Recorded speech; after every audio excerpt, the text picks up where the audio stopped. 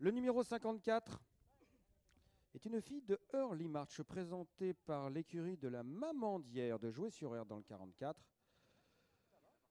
Une fille de Early March, noire, toute noire comme son père. Lamberline la mère. Ah, Lamberline, c'est une bonne jument la casaque de Jean Huzel, si je ne m'abuse. Ah non, sur votre casaque, je confonds avec une autre alors. La casaque de l'écurie de la Mamandière de monsieur Fertillet. Je confonds avec une autre. Bon, bref, Lamberline, une fille de Chamberlain, on va pouvoir marcher peut-être. oui, qui. Euh, allez, on marche s'il vous plaît qui a gagné, euh, le prix des AQPS de l'Ouest à Nantes, une épreuve importante, et euh, avant de terminer deuxième de la finale de l'Ouest des AQPS, toujours sur l'hippodrome de Nantes. Et puis à Nantes aussi, un hippodrome qu'elle adorait, elle a gagné trois, elle a gagné deux fois un obstacle, puisque sa troisième victoire, elle l'a obtenue sur l'hippodrome du Lyon d'Angers.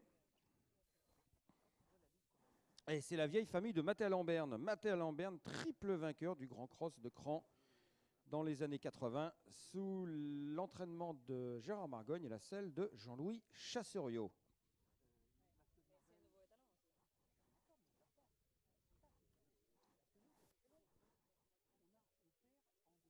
Voilà, une souche qui a donné beaucoup de vainqueurs, comme vous pouvez le constater sur votre catalogue.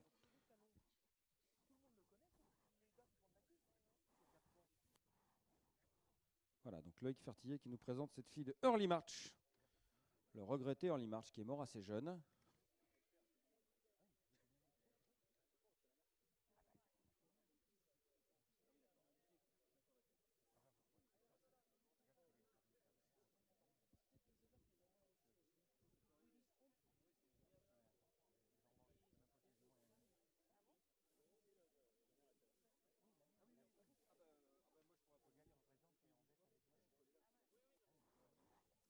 Merci au numéro 54.